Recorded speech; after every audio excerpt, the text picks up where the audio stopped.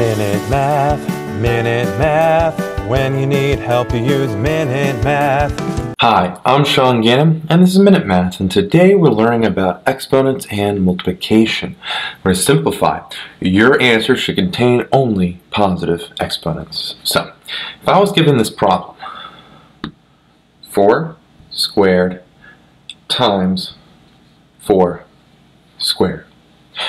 Well, we have the same base, which is 4. So when we multiply that together, our base stays the same, and we add the exponents, okay, with multiplication there. So 2 and 2 add to be 4, and so my final answer is just 4 to the fourth power. Minute Math, Minute Math. When you need help, you use Minute Math. Minute Math, Minute Math. When you need help, you use Minute Math. MinuteMathTutor.com.